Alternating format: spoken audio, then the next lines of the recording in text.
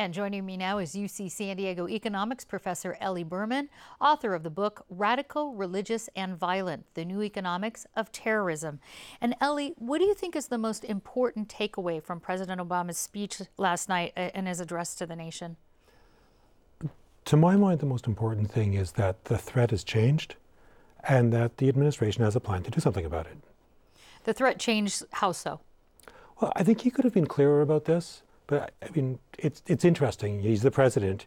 He has to balance the need to kind of recognize the threat and reassure people with he also with another imperative, which is not to elevate this and kind of play into the an apocalyptic vision of how important this particular act of terrorism was. But saying the game has changed. Now, we also heard today that the shooters in San Bernardino were radicalized.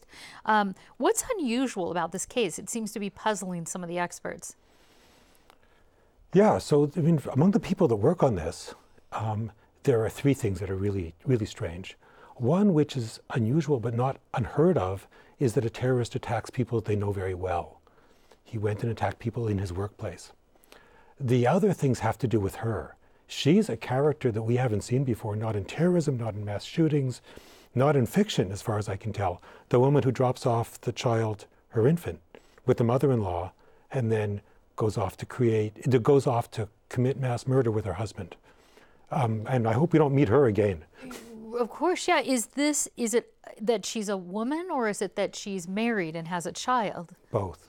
Both. I mean, there have been female terrorists in the past, but the mother with the child, that that that constellation that that constellation is a very very unusual one.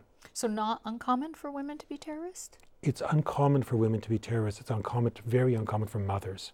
I see. I see. President Obama also said that the shooters uh, went down, quote, a dark path of radicalization, referring to the idea that so many of them referring to as self radicalized. Right. Uh, how does someone become self radicalized? Well, I'm not an expert on the radicalization of individuals, but it, these are people who have views that might have been extreme. There might be some kind of a mental illness in the background as well. And they've decided that these extreme views, that, that violence is the solution. Uh, that, that now, they, that same description could apply to a white supremacist, to someone who's homophobic. But the, the key is to it, but the key is that they've decided that violence is the right answer. And and if, if you start to notice that, uh, well, I guess let me ask you this first. Do you think that self radicalization or extremism is becoming more common, or are we just picking up on it more?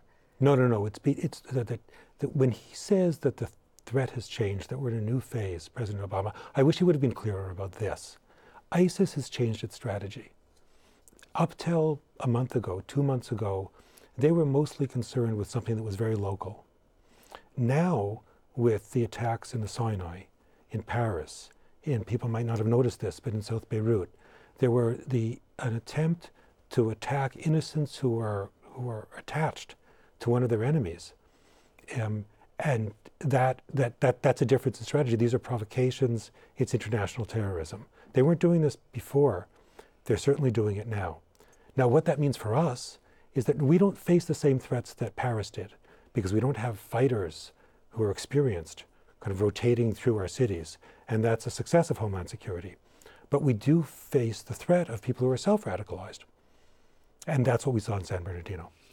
And uh, Today, uh, Homeland Security said it would unveil a new national alert system for terrorist threats. Uh, the husband and wife, though, in this particular case, these shooters, they were not on any government list. Do you think it's harder now for uh, governments to stop these terrorist attacks, especially if they are self radicalized? Yeah, so the bad news is it's much harder. If they're self radicalized, you know, the family, the friends, uh, the relatives, the members of the community just won't know, won't be able to notice. And this puts a lot more responsibility on everybody to be a little more vigilant. Um, at the same time, the, the, the bad news is so that's the bad news. Very much harder to find. The good news is that self radicalized usually means self trained. And so they're not going to have the ability to carry out a Paris style attack because they don't really know what to do with the weapons when they have them in their hands. So, the absolute worst case scenario trained fighters using military grade equipment that we're not facing because the trained fighters have been kept out of this country.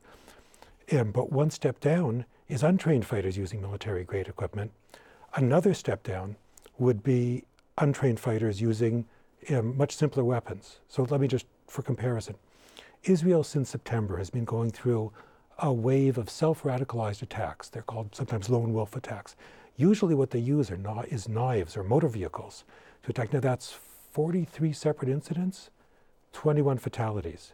So again, coming back to the changes that uh, President Obama was speaking about, Professor Eli Berman, thank you so much. You're welcome.